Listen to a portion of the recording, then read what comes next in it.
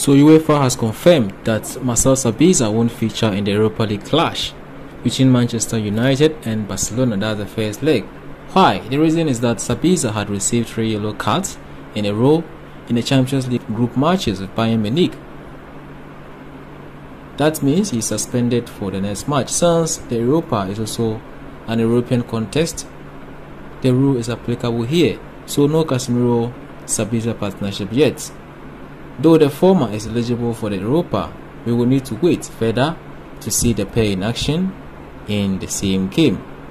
This is bad news for United since the Austrian was instrumental in eliminating Barcelona in both legs whilst at Bayern. No Sabitzer in the first leg versus Barcelona with United confirmed by UEFA but will be eligible for the next leg.